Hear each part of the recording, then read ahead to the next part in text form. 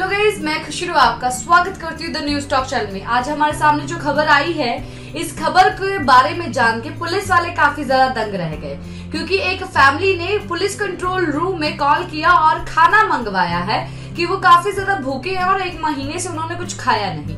और जब वहाँ पर पुलिस पहुँची, तब हक्के बक्के रह गए। चलिए जानते हैं ये मामला कहाँ का है, उस परिवार का नाम क्या है और वो परिवार एक्चुअली में उसके घर पे क्या था।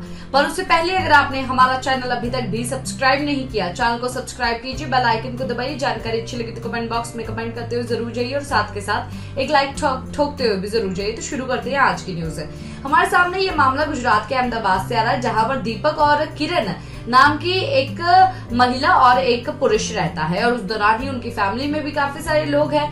और उन्होंने पुलिस कंट्रोल रूम में कॉल किया कि उनके खाने के लिए लाले पड़े हुए हैं उनको खाने के लिए राशन चाहिए क्योंकि गुजरात में गुजरात जो सरकार है उन्होंने ये चीज़ बताया है कि किसी को भी प्रॉब्लम होती है तो, तो सरकार उन तक खाना पहुंचाएगी मुहैया करवाएगी।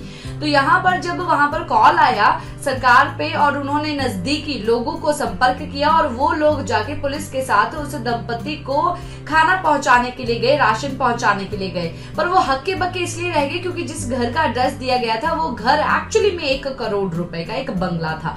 और जब उसके अंदर गए, तब लगा कि शायद बुज़ुर्ग है और बुज़ुर्ग लोग हैं, शायद घर पे खाना नहीं लेके आ पाते, इसके कारण इन्होंने मंगवाया है, पर फिर भी डाउट होने के कारण उन्होंने पूरा घर खंगाला। खंगालने के बाद किचन काफ़ी ज़्यादा सुंदर था। किचन में हर एक राशन भरा हुआ था। हाल ही में ही उन्होंने राशन कार्ड से काफ़ी ज़्यादा राशन लिया हुआ है। उनका बुज़ुर्ग का भी और भी बेटा है जो कि अच्छे पद पे है। यानी कि इनके बैंक बैलेंस भी काफ़ी ज़्यादा है और जो वो बुज़ुर्ग है, वो भी जॉब करते हैं। पर आप भी सरकारी जॉब होने के नाते घर पे बैठे हैं। और ये सब चीज़ें जान के वहाँ पर पुलिस ने उनके ऊपर केस दर्ज कर दिया है। और उस दौरान ही ये भी सब चीज़ें बोली है कि देखिए, इन सब लोगों के कारण वो लोग वंचित रह जाते हैं। खाने से जिन लोगों को सच में ज़रूरत है। तो गाइज़ आप लोग क्या बोलना चाहेंगे इसके ऊपर? कमेंट बॉक्स में ज़रूर कमेंट करते हुए जाइए। इसी के साथ मैं लेती हूँ इजाज़त। बबाई टेक केयर नमस्कार।